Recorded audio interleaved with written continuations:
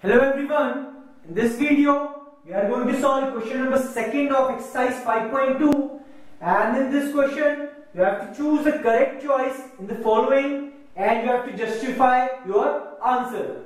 And in the first part you have to find the 30th term of AP 1074 and you are given the option A as 97, B as 77 and C as minus 77 and D as minus 87. And similarly in the second case you have to find the 11th term of this AP where you are given four options. We know that when we have to find any term of any AP we have the formula which says the nth term means the term you have to find or you can say the last term of AP is, is given by A plus n minus 1 into D.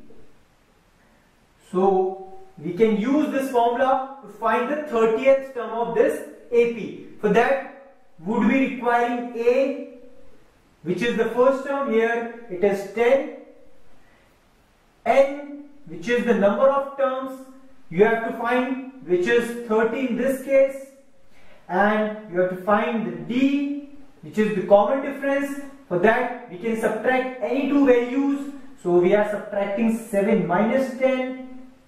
So this is minus 3. So we have all three variables to find the air. One thing is important because the series is progressing on the right hand side. So you have to subtract this value from this value, not this from this. Uh, that would make your common difference wrong.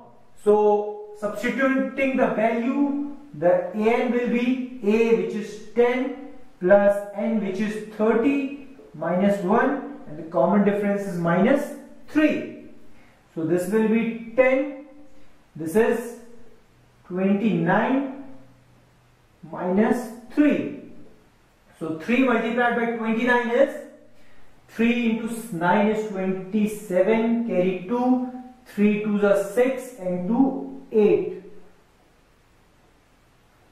and these are plus minus value and plus minus is minus.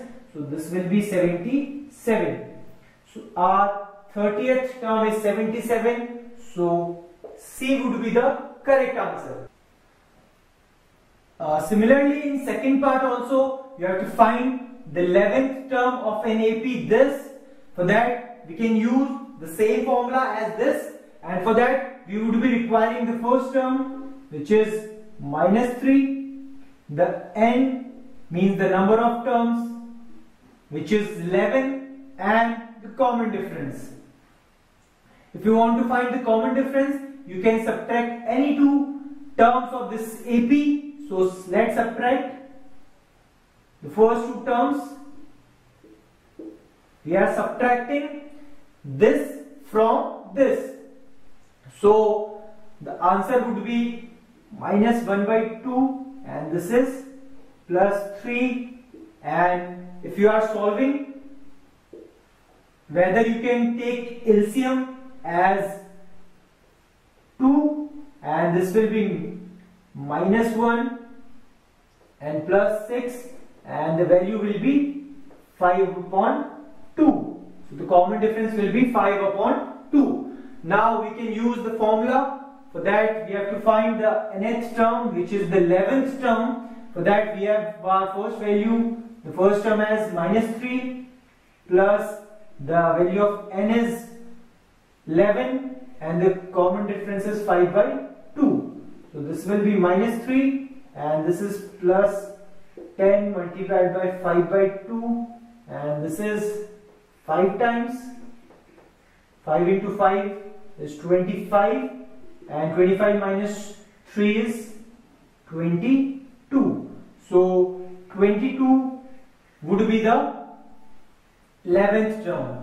So that we can say that B would be the answer for this particular uh, type. Thank you